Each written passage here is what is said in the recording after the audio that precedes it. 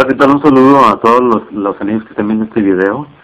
Y pues también un saludo a los que no son tan amigos. Bueno, quiero compartirles algo que encontré en una revista La Atalaya, para no perder la costumbre. Tengo aquí una revista que es del 1 de octubre del 2008, que es esta. Viene un artículo en la página 15 y viene un, párrafo que quiero leerles, que me parece muy interesante. Dice la revista, en efecto, Jehová ve a sus siervos como hijos, a los que ama con todo el corazón. ¿Verdad que es una, una idea muy conmovedora? Y tal como un niño imita a su padre, los cristianos verdaderos hacen todo lo posible por imitar a su Padre Celestial. Y les leo nuevamente lo que me parece más interesante. Dice, en efecto, Jehová ve a sus siervos como hijos, a los que ama con todo el corazón. Ok. Ahora, tengo otra revista, La Atalaya. Esta revista es del 15 de enero del 2010, es esta. Esta revista dice en la página 5, en el párrafo 12, dice, aún así, cada uno de nosotros puede pedirle a Jehová que lo acepte en la familia de siervos suyos. Después de ahí viene un asterisco. Y aquí en la parte de abajo, en la página 5, aquí, viene la explicación de ese asterisco. Y dice la revista, las otras ovejas no llegarán a ser hijos de Dios sino hasta que termine el milenio. Se lo vuelvo a repetir, dice, las otras ovejas no llegarán a ser hijos de Dios sino hasta que termine el milenio. ¿Sí? Dice, no llegarán a ser hijos de Dios sino hasta que termine el milenio. Entonces, la, contra la contradicción está en que esta revista del 2010 contradice lo que dice la del 2008, porque la del 2008 dice que Jehová ve a sus siervos como hijos, ¿sí? Y la del 2010 dice que las otras ovejas no llegarán a ser hijos de Dios sino hasta que termine el milenio. Entonces, como se puede dar cuenta, eh, una revista contradice a otra, la del 2008 dice que Jehová nos ve como hijos y luego la del 2010 dice todo lo contrario, que las otras ovejas van a llegar a ser hijos de Dios hasta que termine el milenio. Entonces, si no eres hijo de Dios, entonces ¿qué parentesco tienes tú con Jehová? ¿Cuál es ese parentesco? Porque si no eres hijo de Dios, entonces eh, ¿Qué parentesco tienes con él? Ahora yo le pregunto, ¿usted cree realmente que este sea un alimento espiritual y que este alimento venga de Jehová? ¿Usted cree realmente que el Espíritu Santo esté detrás de la gente que redacta estas revistas? Yo creo que no. Bueno, quiero a, todos mis hermanos testigos de Jehová que están viendo el video, que están escuchando, quiero hacerles una pregunta. La pregunta es, eh, ¿son ustedes hijos de Dios? Bueno, pues yo creo que pues todos mis hermanos van a contestar pues que sí, ¿verdad? Que sí son, son hijos de Dios.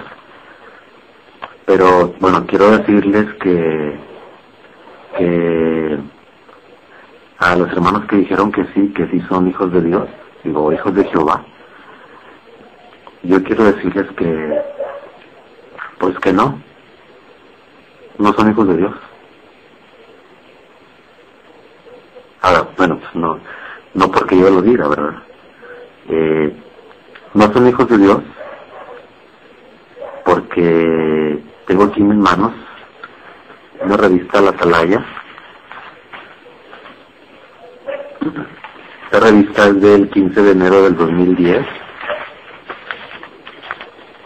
En la página 5, en la parte de abajo viene un asterisco y dice la revista, las otras ovejas no llegarán a ser hijos de Dios sino hasta que termine el milenio. Eso es lo que dice la revista La Atalaya. Entonces, si tu hermano contestaste que sí, que sí eres hijo de Jehová o hijo de Dios, no lo eres, porque según la revista eh, vas a llegar a ser hijo de Dios hasta que termine el milenio. ¿Ok? Eso dice la revista. Ahora, ¿qué dice la Biblia respecto a eso? La Biblia es muy clara, la palabra de Dios es muy clara y nos da mucha luz respecto a eso. Dice en San Juan capítulo 1 versículo 12, dice, mas a todos los que le recibieron, a los que creen en su nombre, les dio potestad de ser, hechos hijos de Dios. ¿Sí? Aquí se refiere a todos los que creyeron en Jesucristo. ¿Qué más dice la Biblia respecto a eso? Eh, pues por ejemplo, mmm, en Romanos 8, 14 dice, porque todos los que son guiados por el Espíritu de Dios, estos son hijos de Dios. Dice el versículo 16, dice, bueno, el 15 dice, pues, pues no habéis recibido el espíritu de esclavitud para estar otra vez en temor, sino que habéis recibido el espíritu de adopción, por el cual clamamos Abba Padre. El espíritu mismo da testimonio a nuestro espíritu de que somos hijos de Dios. Y si hijos, y si hijos también herederos, herederos, herederos de Dios y coherederos con Cristo. Eso dice el, el 17. Y por ejemplo también está el libro de Gálatas, eh, dice en el capítulo 3, dice, pues todos son, sois hijos de Dios por la fe en Cristo Jesús. Ya no hay judío ni griego, no hay esclavo ni libre, no hay varón ni mujer, porque todos vosotros sois uno en Cristo Jesús. Dice el capítulo 4, versículo 4, dice, pero cuando vino el cumplimiento del tiempo, Dios envió a su Hijo, nacido de mujer y nacido bajo la ley, para que redimiese a los que estaban bajo la ley, a fin de que recibiésemos la adopción de hijos. Y por cuanto sois hijos, Dios envió a, a vuestros corazones el espíritu de su Hijo, el cual clama, Abba Padre. Así que ya no eres esclavo, sino hijo, y si hijo también heredero de Dios por medio de Cristo.